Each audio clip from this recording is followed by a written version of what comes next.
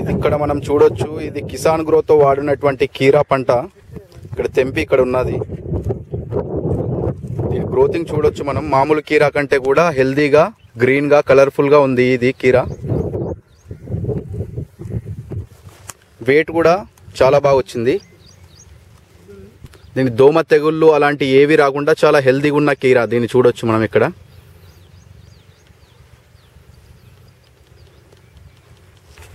Taste కూడా చాలా బాగుందండి. వేరే మామూలుగా పెస్టిసైడ్ వాడి వాడిన చేనుతో కంపేర్ చేసుకుంటే. చేదు బాగుంటుందండి. నేను తిని చూస్తే ప్రాక్టికల్ ఇక్కడ చాలా తీయగా ఉంది స్వీట్నెస్ కూడా ఎక్కువ ఉంది ఈ కీరాలో.